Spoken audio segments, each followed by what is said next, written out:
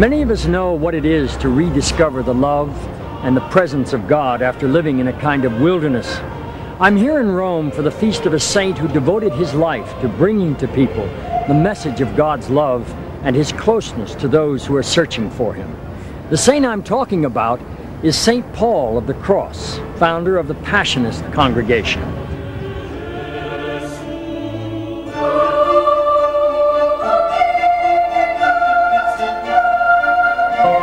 People describe us as uh, down to earth. They describe us as having a wonderful sense of humor. They describe our hospitality. They describe us as very compassionate confessors and counselors. And you wouldn't think that. I mean, because saying, well, here's a group that preaches Christ crucified, uh, lives uh, uh or tries to live a penitential life, has a spirituality of the cross, you would think that we would be rather morose people and rather depressed. And yet at the same time, it seems to be a community of hope that can help people to move through their suffering and to see their suffering as the face of Christ. St. Paul of the Cross um, had this idea of following the great mystics, uh, St. Teresa of Avila, St. John of the Cross, and Tauler, um, that he was nothing and God was everything. And so he put himself totally at God's disposal. In his approach, he was really doing something very profound. He was saying to the people that if you don't, in some sense, know Christ, and if you don't have a way of talking to Christ, which I would call prayer, then it's going to be very, very difficult to keep any sort of contact with God.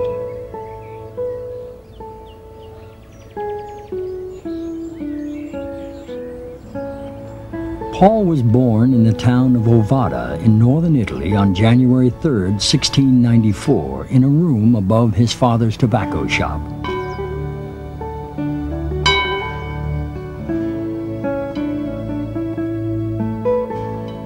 His full name is recorded in the Register of Baptisms, Paolo Francesco Dannei. His mother had 15 children, but only six survived to adult life.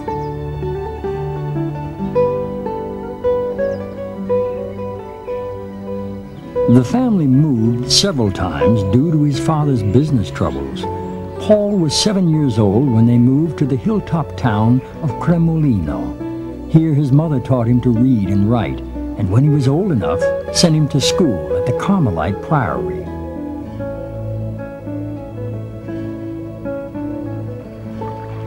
When Paul was about 16, the Dannei family moved to Campoligure, not far from the coast. Paul was sent to Genoa to continue his education. While on a visit home from college, he went, as he often did, to hear a sermon at the parish church. Whatever the priest said that day was to spark something of a conversion or a profound spiritual revelation for Paul.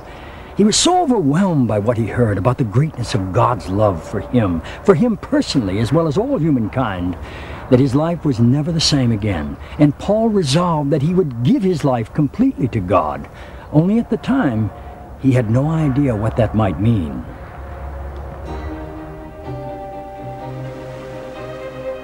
Then one day, as he walked along the coast near Genoa at a place called Sestri Ponente, he saw a little chapel on a hill. As soon as I saw it, he wrote later, my heart longed for that place of solitude.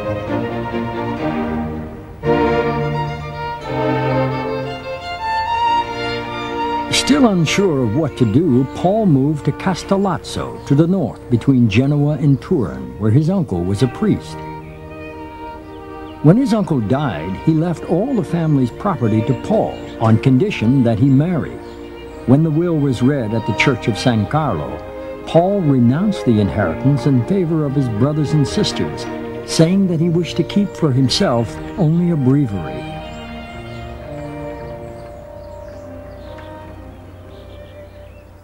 According to St. Vincent Strambi, Paul's first biographer, he turned to the crucifix in the sacristy and said, My crucified Lord, I protest that I want nothing of this inheritance except this breviary, since you alone are enough for me, my God, my only good.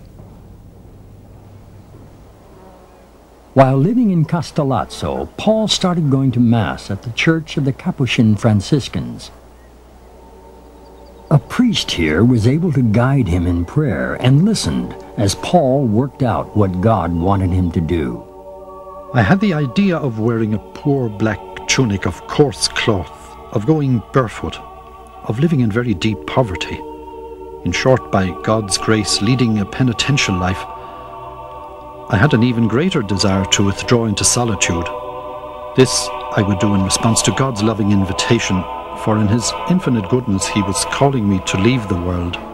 Then, walking quietly one day, he was filled with a profound sense of peace.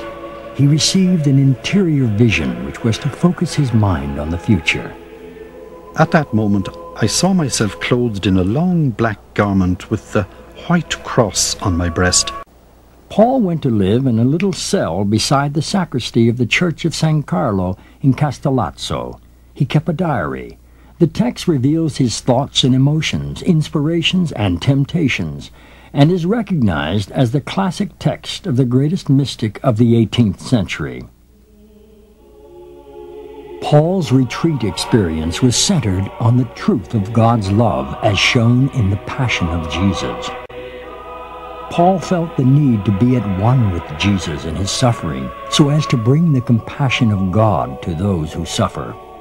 I had great fervour mingled with tears in praying for the conversion of poor sinners. I had also special tenderness in imploring God in His mercy to found the holy congregation quickly and to send forth some people for His greater glory and for the good of their neighbours.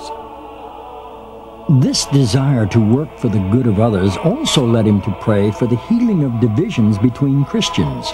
Twice during the retreat, we find him praying for England and the neighboring kingdoms that there will be among English-speaking Christians an increase of faith and love. Paul told Bishop Gattinara that he wanted to go to Rome to ask the Pope to give approval to his rule and let him found a community. The bishop wasn't so sure that another new community was needed. He hoped Paul would continue to live as a hermit. But Paul wasn't one to work alone. He was always looking for companions to share his life and mission. With this in mind, he went to Genoa to find a ship that would take him to Rome. When he arrived in Rome, Paul found a place to stay at a pilgrim's hostel near the river Tiber. From there, he set out next morning for the Pope's summer palace, the Quirinale.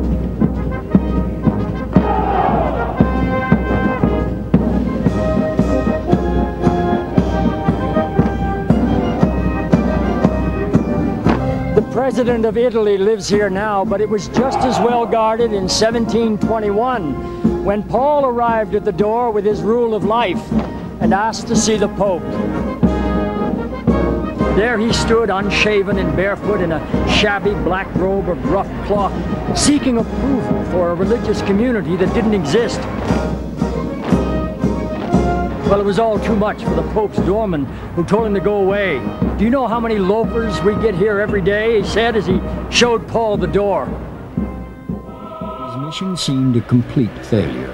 He wandered down the hill towards the Basilica of St. Mary Major. Inside, he found the chapel of the Madonna, went in, and knelt down to pray. Paul realized that it was not yet time for presenting the rule to the Pope. That day would come.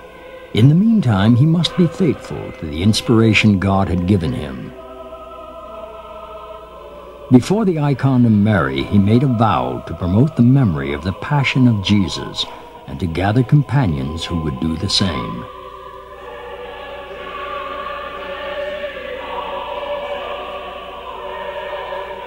The next morning, Paul left the pilgrim's hostel and walked to the riverbank the Ripa Grande was where boats going down the river from the city were moored.